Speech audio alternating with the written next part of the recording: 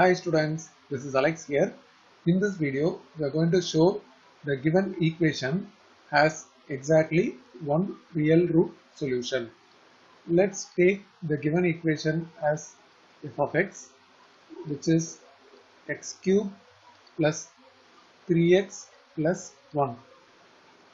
And let's choose two values so that the function value one gives positive and another gives negative. So let's take f of minus 1.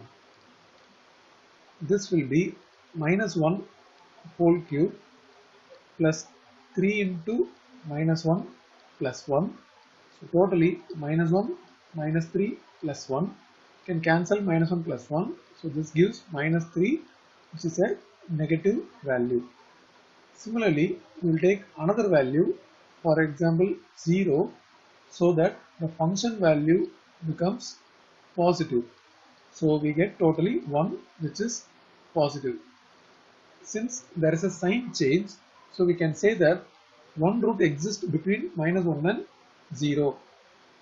Since f of x changes its sign between x equal to minus 1 and x equal to 0 it has one real root solution we prove it has one real root but what we have to prove is it is having exactly one real root solution. It means there is no more than one real root solution we have to prove. Let us take x is equal to a and x is equal to b or two roots.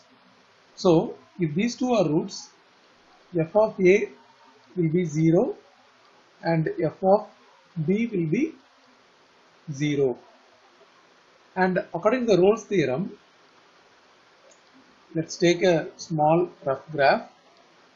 Suppose there is a graph something like this and one value is a comma 0 here x is a here and another value b comma 0 x is b here. So when these two roots exist according to the Rolle's theorem there exists a value c between a and b such that f dash of c equal to 0.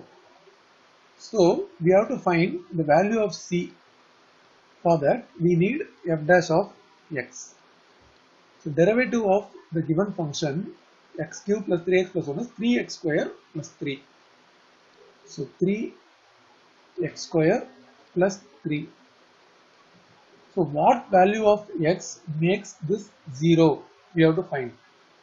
But no value of x will make this 0 because this is always greater than 0. No value of x gives f dash of x equal to 0. Therefore, there is no c exist because whatever value substituted here since it is x square is always going to be positive and plus 3 so totally always it is a positive value.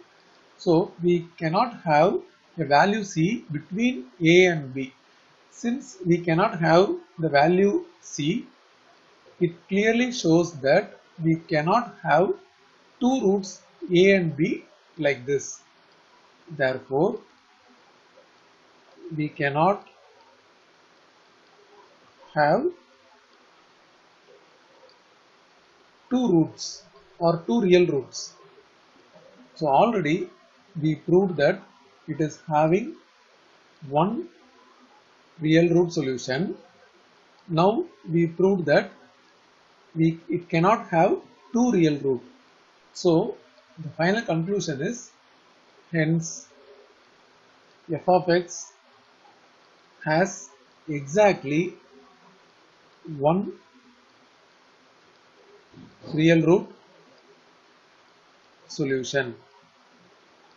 So according to the question, we have to prove the given equation has exactly one real root solution and we got it has exactly one real root solution.